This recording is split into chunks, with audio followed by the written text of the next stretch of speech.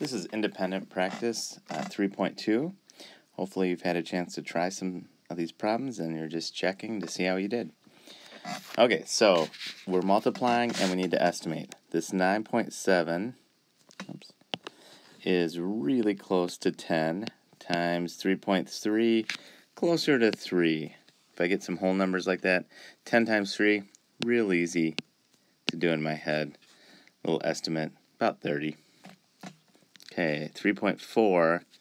And that 0.4 tells me it's a little bit closer to 3 times 5.6. The 6 tells me to go up.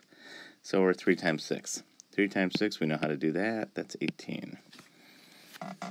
Number 3, 17.5 times 8.4.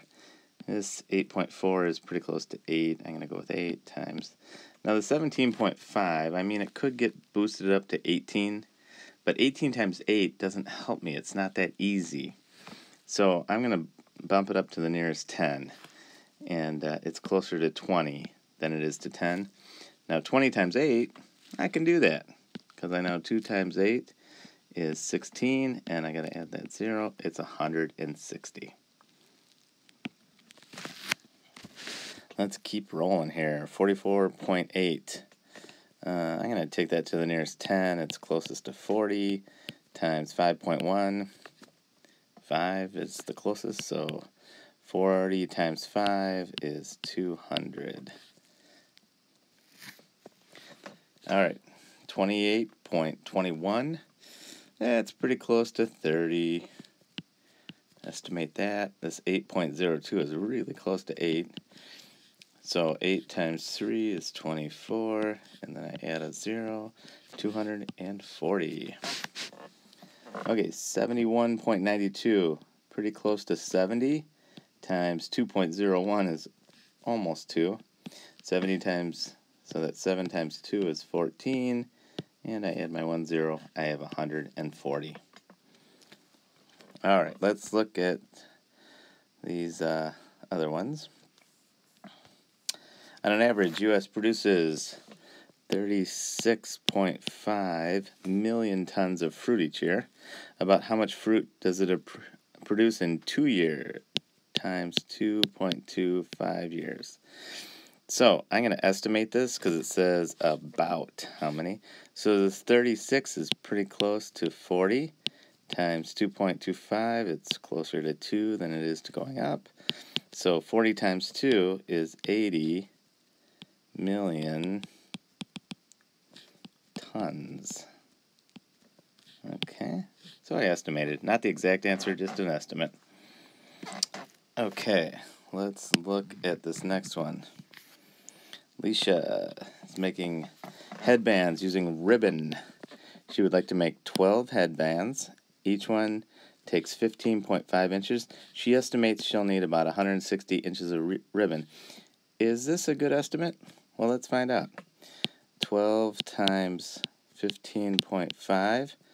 Uh, we want to see how close that is uh, when we estimate it to 160. So this 12 is pretty close to 10 times um, 15.5. That's really close to 16. Uh, 10 times 16 is 160. That is a very reasonable estimate, I would say. Okay. Let's look at nine. Hannah's hourly wage at the ice cream shop is 5.85. The table shows the number of hours she worked. She estimated her earnings to be 120. Without calculating her actual earnings, determine if her estimate is more or less than her actual earnings. Okay, so I'm looking at this. I see 3.5. I'm going to round that up to 4. This 4.25, I'm going to round that to 4. 3.75, I'm going to round that to 4. 2.5, round that to 3. 4.75, round that to 5. So I'm rounding a lot of things up. I'm saying she worked more than she actually did. So 4 plus 4 is 8, plus 4 more is 12, plus 3 is 15, plus 5 is 20. So I'm saying she worked, I'm estimating about 20 hours. Now she didn't quite work that much because I estimated I went up. So I'm estimating higher than what she actually worked. Now this 585, I'm going to estimate that up to $6. 6 times 20 is the $120 she estimated. So um, she's not going to actually get $120.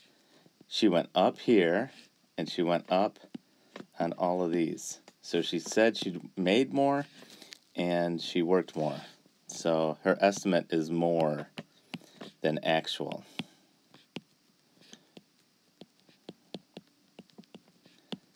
Okay. Let's see. Should we do this uh, last one? Um, yeah, might as well.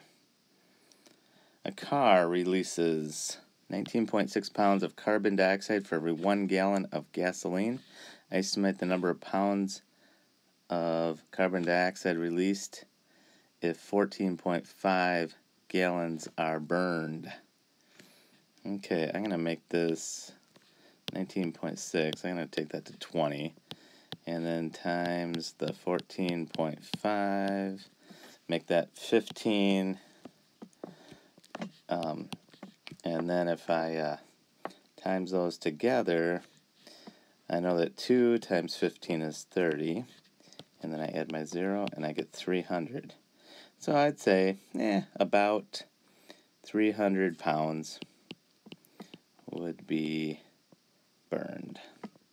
Okay? If you have any questions, let me know.